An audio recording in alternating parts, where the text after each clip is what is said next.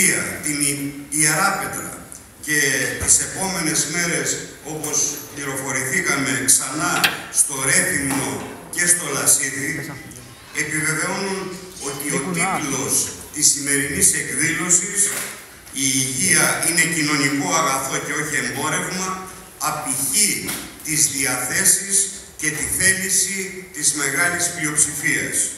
Το ΚΚΕ στηρίζει με όλες του τις δυνάμεις τις μαζικές πολύμορφες κινητοποιήσεις των εργαζομένων υγειονομικών, την ανάδειξη των σοβαρών προβλημάτων τους, των διεκδικήσεών τους, μαζί με άλλους εργαζόμενους, με, άλλους, με όλους τους φορείς του λαϊκού κινήματος, για τη γενναία χρηματοδότηση από τον κρατικό προϋπολογισμό, την ενίσχυση αποφασιστικά των δημόσιων μονάδων υγείας, κυρίως σε προσωπικό και εξοπλισμό. Άλλωστε, σας είναι γνωστό ότι καμιά διεκδίκηση των φορέων που εκπροσωπείτε, αρκετοί από εσά είστε παρόντες σήμερα εδώ, δεν είναι ξένοι για το κόμμα μας. Μέσα από τη Βουλή, με δεκάδες παρεμβάσεις μας, έξω από αυτήν επίσης, στους δρόμους του αγώνα, στηρίξαμε τους αγώνες των σωματείων των υγειονομικών, άλλων φορέων για την υπεράσπιση και την αναβάθμιση της υγείας που έχει τόσο ανάγκη ο λαός και η χώρα μας. Με αφορμή και τη σημερινή εκδήλωση, καλούμε όλους τους εργαζόμενους, μέσα από τους συλλόγους τους, τα σωματεία τους, συλλογικά, συνολικά όλο το λαό του νησιού, να κλιμακώσει την πάλη του ενάντια σε πολιτικές που εμπορευματοποιούν την υγεία. Ενάντια σε σχέδια συγχωνεύσεων ή κλεισίματος κλινικών και νοσοκομείων με ταυτόχρονη ενίσχυση όλων των νοσοκομείων, όλων των κέντρων υγείας, με μαζικές προσλήψεις υγειονομικών, με μονιμοποιήσεις όλων των συμβασιούχων, με ουσιαστικές αυξήσεις σε μισθούς, με κάλυψη των αναγκών των νοσοκομείων και των δημόσιων δομών με εξοπλισμό. Γιατί κανείς δεν μπορεί να συμβιβάζεται με τα αποδεκατισμένα δημόσια κέντρα υγείας από βασικές ιατρικές ειδικότητες, από βασικό ιατρικό εξοπλισμό. Κανείς δεν μπορεί να κλείνει τα αυτιά του, να κλείνει τα μάτια του επίσης, στο γεγονός ότι το ιατρικό προσωπικό των δημόσιων νοσοκομείων είναι ελλειπές, είναι εξαντλημένο, όπως και το νοσηλευτικό προσωπικό σύνολο. Στο γεγονός δηλαδή ότι ασθενείς μεγαλύτερη σε ηλικία, αλλά ακόμα και μικρά παιδιά, αναγκάζονται να περιπλανιόνται σε όλο το νησί, αλλά και στην υπόλοιπη χώρα, γιατί στην περιοχή που ζουν τα νοσοκομεία είναι φρακαρισμένα, υπάρχουν τεράστιες ελλείψεις σε μεθ, σε χειρουργικά τραπέζια που δεν λειτουργούν γιατί δεν υπάρχει και προσωπικό. Όλα αυτά βέβαια δεν είναι απόρρια κάποιας ανικανότητας ή έλλειψη σχεδιασμού από τους υπεύθυνους για την αντιμετώπιση τους. Δεν είναι κυρίως αυτό.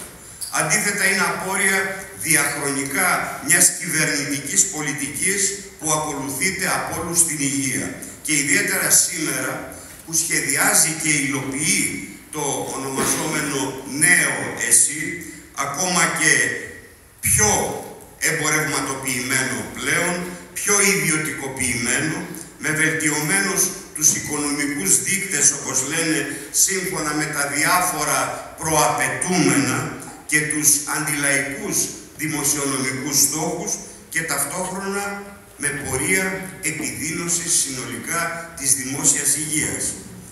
Αγαπητές φίλες και φίλοι, το κόμμα μας βάζει στο επίκεντρο της συζήτησης του προβληματισμού όλων μας, αν θέλετε, και εμάς που βρισκόμαστε σήμερα εδώ, το ζήτημα των σύγχρονων κοινωνικών λαϊκών αναγκών.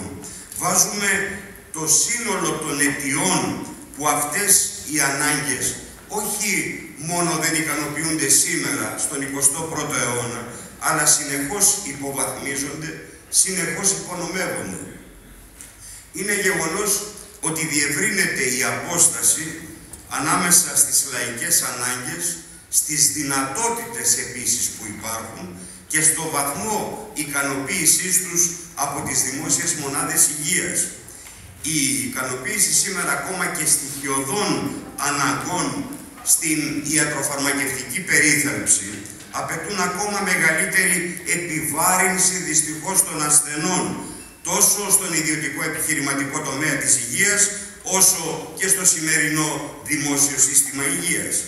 Δημόσιο σύστημα υγείας το οποίο συνεχώς προσαρμόζει τη λειτουργία του με επιχειρηματικά κριτήρια και με την εμπορευματοποιημένη παροχή των εργασιών του είτε έμεσα πουλώντας τα ασφαλιστικά ταμεία είτε άμεσα στους ασθενείς με τις πληρωμές στα ιδιωτικά απογευματινά ιατρία για παράδειγμα και διευρύνοντας την αγορά και στα χειρουργεία πλέον εντός και εκτός των δημοσίων μονάδων υγείας. Ο ισχυρισμός της ε, σημερινής κυβέρνησης της Νέας Δημοκρατίας για την υγεία ότι είναι δύο προτεραιότητες που πρέπει να τρέχουν παράλληλα η υγεία ως κοινωνικό αγαθό προσβάσιμο από όλους και από την άλλη πλευρά η υγεία ως επιχειρηματικότητα αποτελεί ίσως με ελάχιστες φραστικές θα έλεγα διαφοροποιήσεις κοινό στόχο και από άλλα κόμματα που υπηρετούν την ανάπτυξη με ατμομηχανή κυρίως τους επιχειρηματικούς ομίλους, όπως αναφέρομαι συγκεκριμένα στο ΣΥΡΙΖΑ ή και στο ΠΑΣΟΚ Κινάλ. Οι προτεραιότητες αυτές στο σημερινό σύστημα τρέχουν ταυτόχρονα, αλλά όχι παράλληλα. Για την ακρίβεια πάνε αντίθετα, αφού στη μια λωρίδα βρίσκεται η υγεία ως κοινωνικό αγαθό και στο αντίθετο ρεύμα η υγεία ως επιχειρηματικότητα. Το κέρδος σκοτώνει την υγεία του λαού, λέμε εμείς. Τι καλύτερο παράδειγμα από το πρόσφατο κλείσιμο της ιδιωτικής μονάδας τεχνητού νεφρού στην Ιεράπετρα, γιατί δεν είχε τα προσδοκόμενα, λέει, κέρδη. Την ίδια στιγμή, οι δεκάδες νεφροπαθείς που εξυπηρετούνταν ταλαιπωρούνται μεταξύ των νοσοκομείων του Αγίου Νικολάου και του Βενιζέλιου στο Ηράκλειο, διανύοντας δεκάδες και εκατοντάδες χιλιόμετρα και την ίδια στιγμή, την ίδια ώρα, οι υγειονομικοί εξαντλούνται, καθώς οι πρόσθετοι ασθενείς δεν συνοδεύτηκαν βεβαίως από αντίστοιχες προσλήψεις. Οι εξαγγελίες της κυβέρνησης για μέτρα που θα βελτιώσουν την κατάσταση είναι κυριολεκτικά στον αέρα, λέμε εμείς, και καλλιεργούν ψεύτικες ελπίδες, δυστυχώς διότι όλα τα μέτρα έχουν ως προϋπόθεση να μην αντιστρατεύονται τα κριτήρια της καπιταλιστικής οικονομίας. Έτσι τη λένε, αυτή είναι. Κριτήρια που θεωρούν όλα όσα σχετίζονται με τις ανάγκες, για παράδειγμα, της πρόληψης, της θεραπείας και της αποκατάστασης ως κόστος. Ανεξάρτητα του τρόπου διαχείρισης αυτής της πολιτικής. Ο στόχος όμως είναι η ελαχιστοποίηση των δωρεάν παροχών στα λεγόμενα βασικά πακέτα που εξαγγέλλονται, η μείωση κρατικών δαπανών και η αύξηση της ατομικής, λέει, ευθύνης πληρωμών για το μεγαλύτερο μέρος των αναγκών αυτών.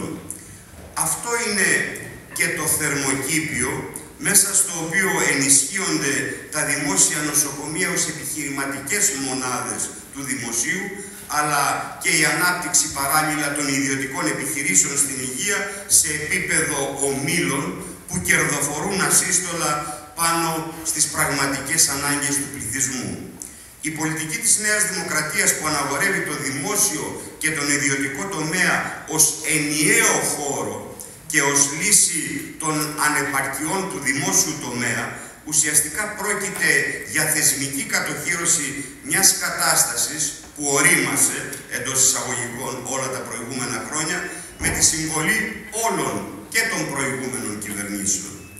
Πριν οι ασθενείς έτρωγαν πόρτα, όπως λέμε, στις δημόσιες μονάδες υγείας και κατέφευγαν στον ιδιωτικό, τώρα αυτό θα γίνεται με θεσμοθετημένο τρόπο μέσω των ΣΔΙΤ, είτε εντός των δημόσιων μονάδων υγείας, είτε με αυτοτελεί τη λειτουργία τους.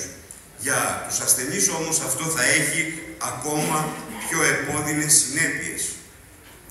Αύξηση των πληρωμών ή συμπληρωμών, αλλά και ακόμα μεγαλύτερη αναρχία στην ανάπτυξη του συστήματος υγείας, αφού τόσο ο ιδιωτικός τομέας επενδύει εκεί που προσδοκά μεγαλύτερο κέρδος, όπως όλοι ξέρουμε, και όχι για να καλύψει πραγματικές λαϊκές κοινωνικές ανάγκες, όσο και ο δημόσιος αντίστοιχα, ο οποίος για να εξασφαλίσει αυξημένα έσοδα, για να είναι βιώσιμος, θα αναπτύσσει εκεί και όπου ικανοποιείται αυτή η ανάγκη.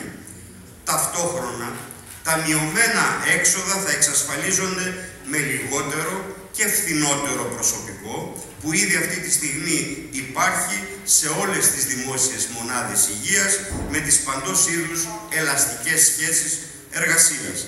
Σε αυτό το